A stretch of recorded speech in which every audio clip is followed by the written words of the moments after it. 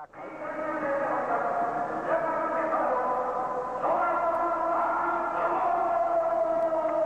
ラーボールマーク・ロッコが紹介されました。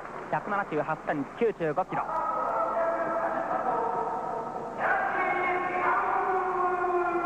国際プロレステクニシャン178センチ105キロのセランシー・イサム・テラが夜中ポインしました。マーク・ロッコ。トンピングから拳打ちそして膝。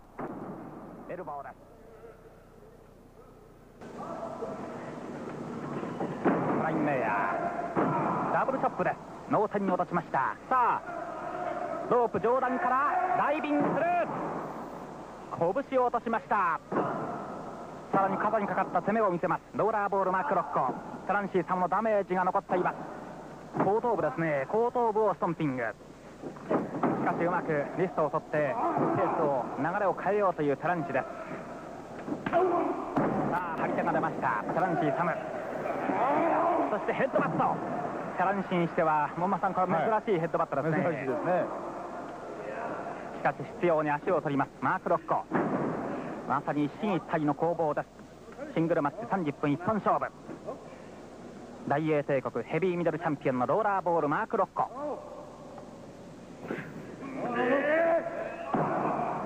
ヒップドラムロープをうまく使って。います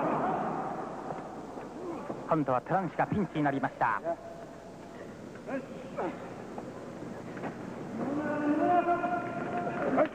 さあ立ち上がります。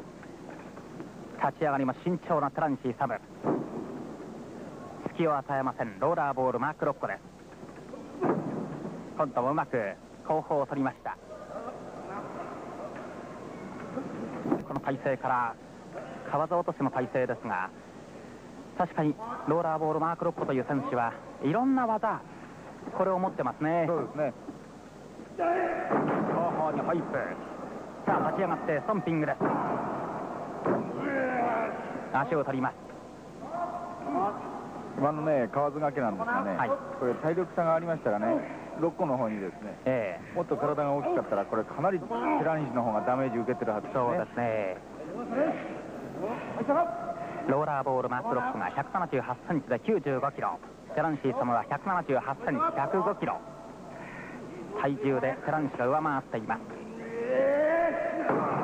ヨーロッパのヘビーミドルクラスの第一人者でありますマーク・ロッコ。テ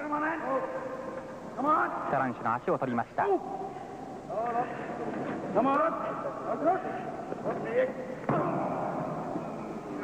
そそれにしても桃さん、はい。95キロというマーク・ロッコがその自分の95キロの体重をですねこの試合の中で十分に生かしてますね。ね。